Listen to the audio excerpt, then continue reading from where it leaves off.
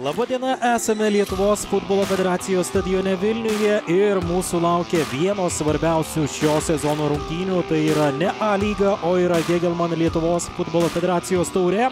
Ir rungtynės tarp flagmanų, Lietuvos futbolo flagmanų, galima sakyti taip, tai yra Vilniaus Žalgeris ir Marijampolės Suduva. Įvarčių Vaslep.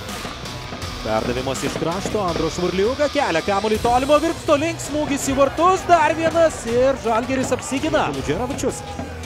Dažniausiai toks yra užbaigėjęs baudos aikštelėje ir čia, žinoma, gali būti pavojingas, dabar muša tiesiai į vartininką Ivaną Kardumą. Gerą poziciją užsijėmė vartų sargas, artėja lyga. Perdavimas į dešinę, Livijon Talis ir smūgis galva Andrija Kaludžerovičius.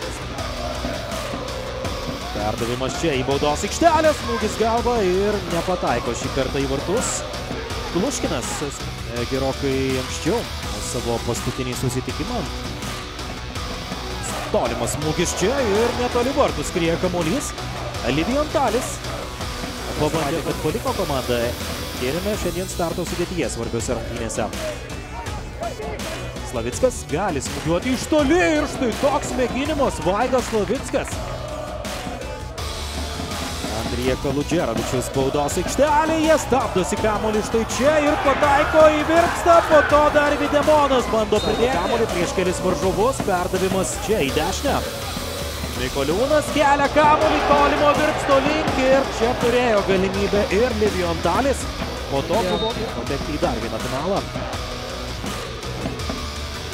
Perdavimas tolimo virpsto link, smūgis ir netoli vartų skrieja kamuolys. O į vartus mušė Liudis Ablevičius. Laiku ir vietoje. Palieka savo pagrindinę poziciją. Dabar jau žinoma, čia spragų yra. Ir Migretas Topčiagičius. Labai netoli virpsto. Rumšas leidžia smūgiuoti. Videmonas muša ir Greta virpsto. Kontroliavo padėtį panašu Ivanas.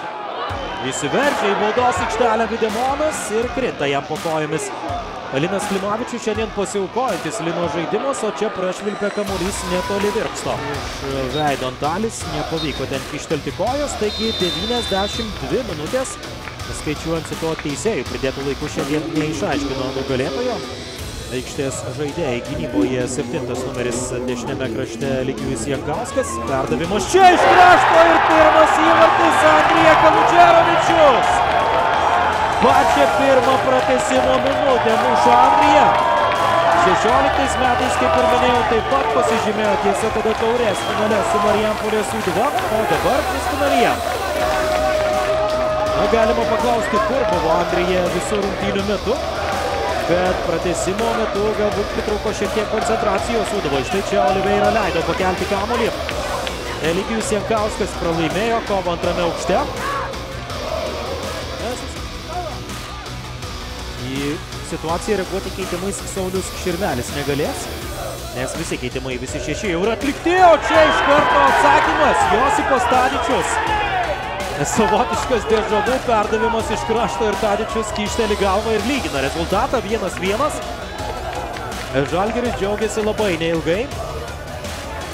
Ten buvo leista prieš tai pakelti kamuolį Oliveira leido ir pralaimėjo kovą Jankauskas, o čia Salamono perdavimas ir muša įvartį Josipas Tačius. Abi, abu įmušė po perdavimų iš kraštų galvomis. O čia dabar ir Semiras Kerla muša įvartį po standartinės padėties. Atrodė, kad Sūduva, kaip ir minėjau, šį sezoną netokia pavojinga po standartinių situacijų, bet Semiras Kerla išteli galvą ir muša įvartį išvesdamas Sūduva į priekį 2-1 puikus perdavimas ir Tatomirovičių žaidėjas, kuris labai gerai rungtyniauja antrame. Dabar kuklio perdavimas ir Sūduva. Pavyzdingai ginasi, bet Karamarko vis dėlto susiranda galimybės. Visablevičius. Siunčia kamuolį į priekį ir Livijon Dalis čia krinta nei pražangos. Ar vis dėlto švilpukas yra? Semiras Kerla pasim... Taip, teisėjas taiso, sakykime taip, savo klaidą. Ta ir bandė paskui jam kovoti su Kerla. Mikoliūnas. Lieka Berkovicas baudos aikštelėje, Mikoliūnas čia yra galimybė ir šalia virpsto skrieja kamuolys. Futbolas baigėsi, bet e, kova dar ne. Raudona kortelė. Panašu Andrijai Kaludžerovičiui. Gelbėti viskas. Donatas Rumšas skelbia rungtynių pabaigą. Na ir kas galite pasakyti, kad Lietuvoje futbolo nėra, ar Lietuvos futbolas nėra gražus?